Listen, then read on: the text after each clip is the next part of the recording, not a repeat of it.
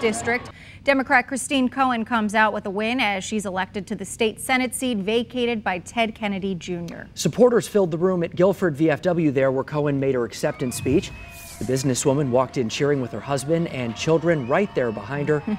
Sear, obviously very, very, Very happy, with the results tonight. Channel 3's Rachel Yankunis asked Cohen what her first order of business would be in office.